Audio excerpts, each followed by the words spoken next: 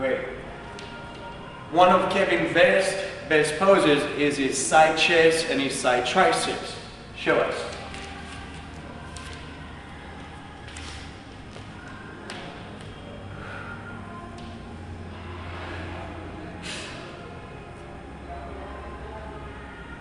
Awesome. Good. Side triceps.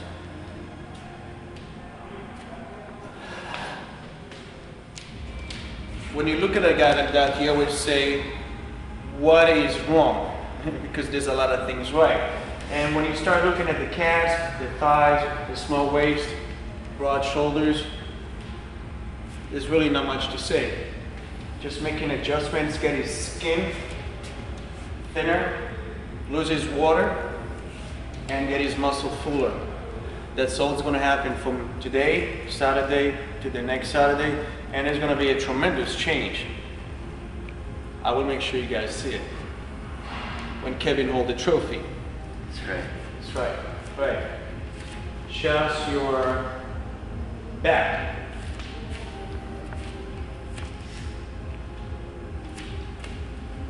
Good. Hamstring, glutes, lower back. His lower back is very, very dry. You can tell there's no water here. Most of the time, a lot of people holding a lot of water in the lower back. A week out, before even dropping the salt, the sodium, Kevin has no water in his back. Christmas tree, and open your lats. Very wide back, small waist. Glutes, hams, again, all in the right places. Awesome. Let's go to uh, a double biceps.